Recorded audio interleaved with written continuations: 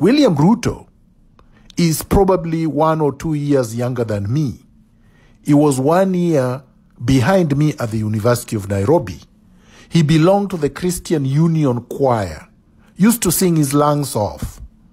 William Ruto, after graduating from the University of Nairobi, instead of looking for work and working honestly, joined KANU, forgot about his Christian upbringing, forgot about his peasant background. He joined KANU and became one of the most vicious KANU uh, youth wingers. He, with Jirongo, started brutalizing Kenyans, started spreading propaganda as the main language of the ruling party, started looting the economy, plundering the economy, destroying the economy. Ruto presided over the printing of fake money so that they could um, rig the elections of 1992. That is why Jirongo was called uh, 500, uh, 500 shillings note, because that's the first time the shilling, 500 shilling note was introduced in Kenya. Within a few years, as one of the linchpins of Moi's dictatorship, Ruto became extremely wealthy, courtesy of grabbed public land, courtesy of grabbed public assets, courtesy of a serial of frauds.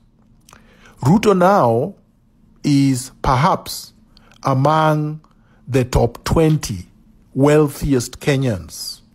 He owns the Weston Hotel, which is estimated to be worth more than 2.5 billion Kenya shillings. He owns the, the Uasin Gishu Nkandla, the residence, which sprawls for miles, are estimated to be worth more than 2 billion Kenya shillings. William Ruto is reputed to have bought the 60 Hotel in the middle of Nairobi, worth close to 3 billion Kenya shillings. He owns the Hotela Enterprises Limited, worth over 2.5 billion. Karuto Properties along Jogoo Road, worth 3.5 billion. Amaco Insurance, worth probably close to 5 billion.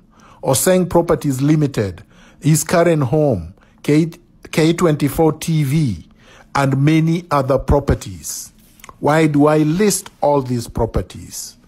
Just to show you the amount of looting spree this man, William Samoei Ruto, has been involved in. But Ruto has been involved in more than looting. Ruto also has a son with Akinyi Walkoa Odinga, the sister to Raila Odinga, and the former wife to Dick Oneko. Ruto has is reputed to have had 27 children in two years. Between 2007 and 2012, Ruto had had more than 30 children. The man has been on a riot. On a riot in bed and on a riot in the looting spree. The man is dangerous to the economy of the Republic of Kenya and to social order. William Samoei Ruto cannot be the president of the Republic of Kenya, nor can Raila Odinga, nor should Uhuru Kenyatta continue to be.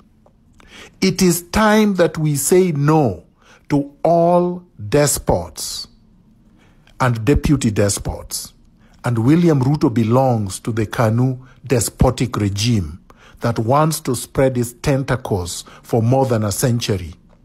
Citizens of Kenya must organize to stop William Ruto, to stop Raila Odinga, to stop Uhuru Kenyatta from institutionalizing the culture of impunity, from trying to succeed himself. Uhuru Kenyatta is trying to use the BBI to succeed himself. Raila Odinga being a coward, a greedy coward, is just playing along because as long as Raila Odinga has bodyguards, as long as Raila Odinga has a red carpet, as long as Raila Odinga is eating, as long as Raila Odinga is capable of suppressing everyone so that the Odinga family remains supreme, Raila Odinga is, is going to do anything. He's going to praise Uhuru Kenyatta without actually remembering that Uhuru Kenyatta is the one that mowed down more than 10,000 of his supporters, brutalized and maimed them, and killed many.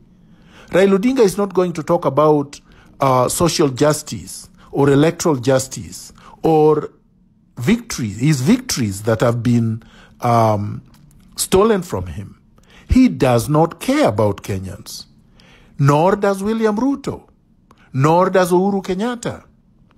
These are tyrants who have absolutely no interest of Kenyans at heart. They don't care whether 55 million Kenyans live in squalor, live in extreme poverty, go without food, go without housing, go without the basic necessities of life. So I call upon Kenyans to say no. Say no to William Ruto, say no to Raila Odinga, say no to Uhuru Kenyatta. Organize, mobilize, don't agonize.